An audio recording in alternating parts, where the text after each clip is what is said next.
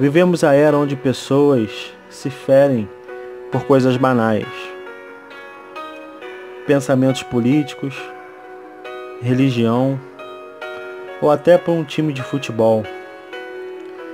Hoje as redes sociais mostram pessoas que se acham fortes e através de seus dedos denigrem, ofendem, se achando o dono da verdade como se fosse um especialista nos assuntos.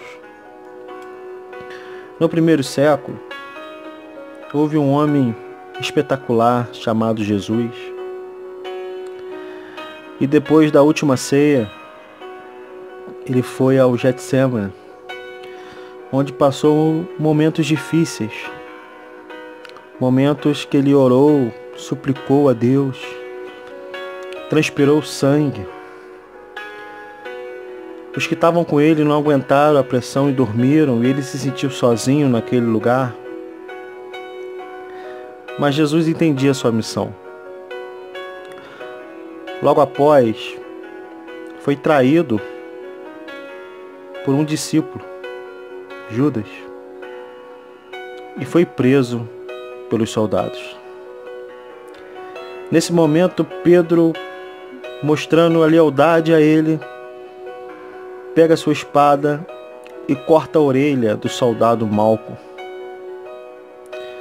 Só que Pedro estava tentando defender alguém que tinha uma missão a ser cumprida.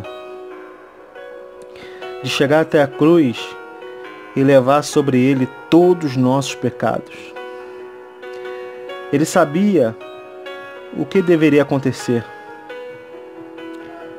E Jesus disse a Pedro: embainha sua espada, porque todo aquele que usar da espada, por ela morrerá. E ele vai e restaura a orelha daquele soldado. E deixou refletir que as suas boas novas não é com espada, não é com guerra, mas sim com paz mostrou para todos os seus discípulos, para todos nós, que não se vence a guerra ferindo, mas sim restaurando. Que eu e você, no dia de hoje, possamos ser um agente de restauração na vida do nosso próximo. Existem muitos feridos das guerras do dia a dia e eles não precisam de alguém para feri-los mais. Tudo que eles precisam é de alguém que estenda a mão. Ganhe essa guerra restaurando, levantando pessoas. E lembre-se, se você está de pé, porque um dia alguém te ajudou a se erguer.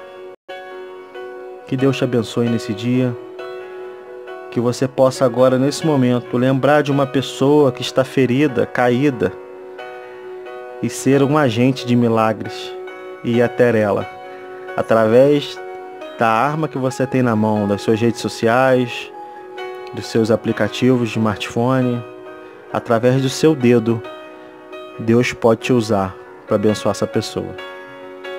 Deus abençoe sua vida.